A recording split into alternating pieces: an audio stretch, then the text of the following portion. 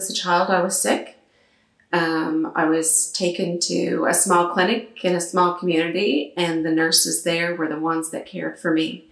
And as a child, I saw them as superheroes, the people that save people, and I wanted to be just like them.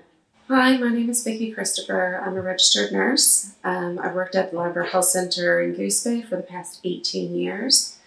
Um, my background is actually emergency medicine, um, but for the past year and a half, I have changed over to clinical nurse educator. I've been in this position now a year and a half, so I do get to work with other educators throughout the region to provide education, support, and guidance to nurses who work on the front line. It, it helps me to um, see where I can improve other people's uh, confidence in themselves, um, provide them guidance so that they are providing the best care possible.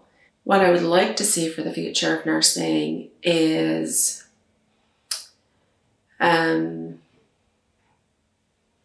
a recognition, um, a come together of minds um, that recognize the importance of nursing within the healthcare system and how much the healthcare system depends on the skill, the knowledge, the practice of all the registered nurses within it um, to provide the utmost best care um, for all of the people within the province.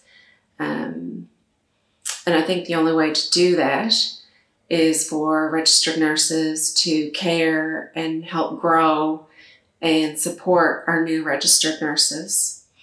Um, within the province and for you know the people within the province and the government of the province to recognize the integral part that we do play. So I'm Vicki Christopher and I'm very proud to be a registered nurse.